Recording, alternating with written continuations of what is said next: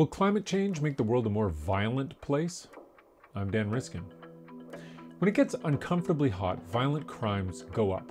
Shakespeare even wrote about that in Romeo and Juliet, when Romeo said to Mercutio, The day is hot, the Capulets abroad, and if we meet, we shall not escape a brawl, for now these hot days the mad blood is stirring.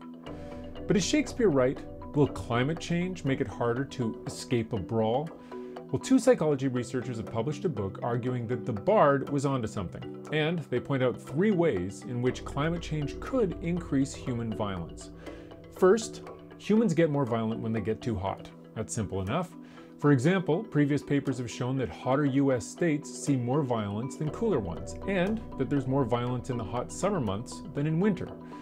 Second, the researchers argue that as natural resources become more limited by climate change, there will be more competition over them. That could ultimately lead to political unrest, civil war, or international conflicts.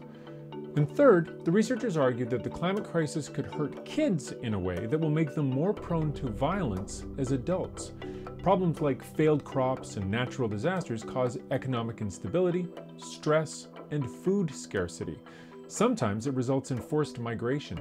All of those, say the researchers, especially malnutrition for the developing brain, can hurt the development of kids in a way that makes some of them more aggressive as adults.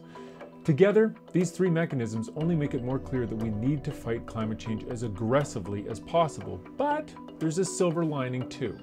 Sometimes it feels like a person has to pick a cause. Either they support humanitarian causes or environmental ones. But this book shows why those issues are connected and how fighting for humanitarian causes can help us fight the worst effects of climate change, especially for kids. For CTVnews.ca, I'm Dan Riskin.